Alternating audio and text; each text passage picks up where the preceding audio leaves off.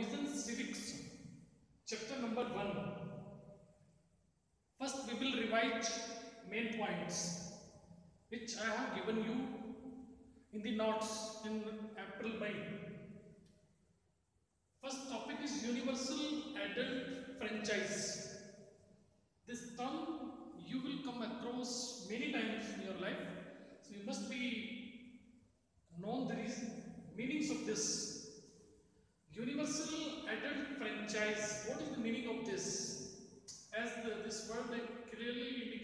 means a person has achieved a certain minimum years of age.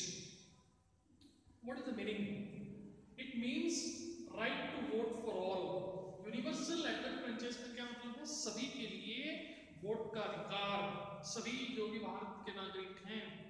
उनको voting का एक अधिकार है। उसकी कुछ और कंडीशंस भी हैं।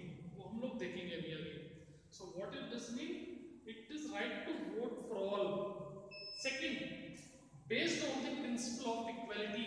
Why it has been created? Just because it is based on the principle of equality. Equality means सभी को बराबर के अधिकार। किस चीज़ में? अच्छे कमाई करने के लिए, अपने आप को आगे बढ़ाने के लिए। किसी भी प्रकार का उसके साथ में कोई भी भेदभाव ना हो, चाहे किसी भी चीज़ के ऊपर हो।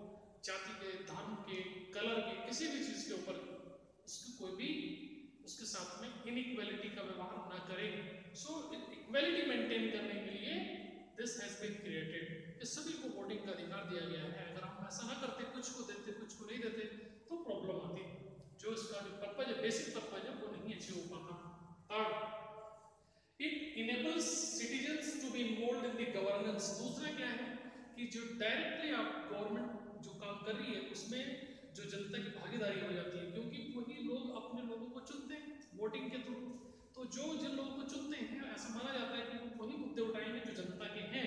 तो डायरेक्टली एक तरह से जो गवर्नमेंट फ़ंक्शन करेगी, वो जनता के लिए काम करेगी, जनता के फ़ायदे के लिए करेगी। तो इनका जो, उनकी जो भागीदारी है, वो ज़्यादा सुनिश्चित हो सकती है। इसके थ्रू सभी को वोटिंग दे करके। ठीक है?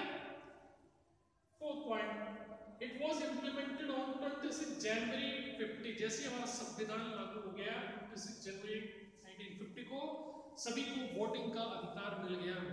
अंडरस्टूड सभी मतलब next condition minimum age is 18 years for voting हम सब जानते हैं कि एडल्ट भी कब होते हैं और कब हमें वोटिंग का अधिकार मिलता है? जैसे हम लोग 18 साल के हो जाते हैं।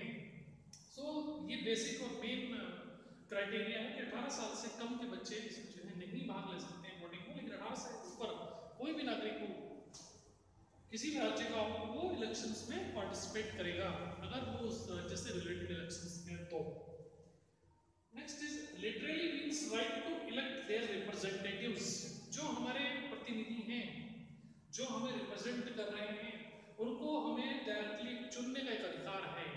तो इसकी बहुत सारी डेफिनेशंस हैं और अलग अलग तरीके से इसको आप व्याख्या कर सकते हैं। बहुत इंपॉर्टेंट है, इसमें से एक एक नंबर के कई सारे क्वेश्चन बन सकते हैं। जैसे पूछी जा सकती है मिनिमम एज क्या है for becoming universal adult franchise ठीक है? कब ये इसको इम्प्लीमेंट किया गया। और ये क्या क्या अधिकार देता है? कौन से प्रिंसिपल के ऊपर बेस्ड है? देखिए, कितने सारे क्वेश्चंस इसके अंदर से बन जाते हैं। तो जस्ट रीड इट थॉरली और एग्ज़ाम्स के लिए बहुत इंपॉर्टेंट है। मैं एक बार और इसको थोड़ा जल्दी से देता हूँ। What is universal adult franchise it means the right to vote for all second it is based on the principle of equality so that everyone can live a equal life it enables citizens to be involve in the governance सभी को भागीदारी हो कोई ये ना कहे कि भाई सरकार जो कर रही है, हमें तो पता ही नहीं है, हम, हमने तो ऐसा कुछ कहा ही नहीं था। तो चूँकि वोटिंग अगर आपने की है तो सबका उसमें अधिकार जो है, निश्चित हो जाता है।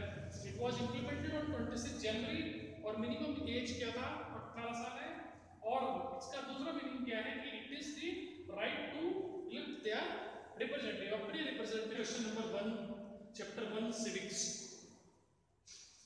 in democracy why is universal adult franchise important क्यों ये इंपॉर्टेंट है यूनिवर्सल एडल्ट फ्रेंचाइज इसके बारे में भी हमने मेन पॉइंट्स में पढ़ा क्या है, क्यों ये ज़रूरी है, क्या इसका फ़ायदा है?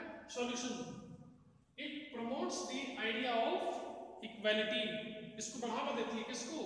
इक्वालिटी को, जो कि उसका बेसिक प्रिंसिपल है। क्यों इसको लागू किया गया? ताकि equality can be maintained throughout the country so that we can progress at the high speed. अगर इक्वालिटी नहीं होगी तो बहुत सारे स्ट्रगल्स होंगे वहाँ पे। जनता में आपस में कोई कोऑर्डिनेशन नहीं होगा और प्रॉब्लम आएगी। Country cannot progress at the desired speed second all have the right to vote second इसका क्या फ़ायदा है कि सबको अधिकार मिल आपको ये नहीं कह सकते मुझे अधिकार नहीं है। मेरे साथ में भेदभाव हो रहा है। No everyone have the right to vote if he is a citizen of the country. Third, citizens participate in creating government. अब चूँकि हम डायरेक्टली वोट कर रहे हैं वोट करके अपने लोगों को सिलेक्ट कर रहे हैं, वही सिलेक्ट होकर के लोग गवर्नमेंट बनाते हैं तो एक तरह से डायरेक्टली जो गवर्नमेंट के अंदर हमारी भागीदारी है, यानी कि गवर्नमेंट जो काम करने वाली है, वो वही है जो जनता चाह रही है। ये एक प्रोसीजर है तो उसको एक फ़ायदा मिलता है उसमें। लास्ट पॉइंट है इट मेक्स गवर्नमेंट अकाउंटेबल दूसरा जब हमने उन लोगों को चुना है। तो कल हम उन लोगों को हटा भी सकते हैं कल हम लोगों से क्वेश्चन पूछ सकते हैं। सो so, उनको मोर अकाउंटेबल उनकी ज़्यादा जवाबदेही बन जाती है ज़्यादा जिम्मेवारी बन जाती है पब्लिक की तरफ़। पब्लिक के लिए कि भाई उनके लिए काम करो जिन्होंने आपको जिताया जिन्होंने आपको रिप्रेजेंट किया जिनकी वजह से आपको ये फैसिलिटी मिल रही है। तो उनके मुद्दों को वो सही से उठा पाते हैं वहाँ पे। तो ये बेसिक इसका पर्पज है करने का और ये इसीलिए इम्पोर्टेंट है बेसिकली क्या है इक्वालिटी का जो आइडिया है, उसको मेंटेन करने के लिए, दूसरा क्या है कि गवर्नमेंट में डायरेक्ट भागीदारी करने के लिए है, और गवर्नमेंट को ज़्यादा जवाबदेह, जिम्मेदार बनाने के लिए भी ये किया गया है, और एक और जो पॉइंट था वो ये था कि इससे सभी को राइट टू वोट का अधिकार मिल जाता है। तो सभी के सामने किसी भी प्रकार का कोई भी भेदभाव नहीं करता, और बेहतर एक कंट्री की जो है इसमें प्रोग्रेस सुनिश्चित की जा सकती है अंडरस्टूड तो ये बहुत इजी क्वेश्चन है। इसमें से भी एमसीक्यू बन सकते हैं कि इसके क्या क्या इंपॉर्टेंट है। उसमें चार ऑप्शन दे देगा। उसमें से आपको कहेंगे गलत कौन सा है। इस तरह से क्वेश्चन बनता है। इसको थोड़ा रीडिंग करिए और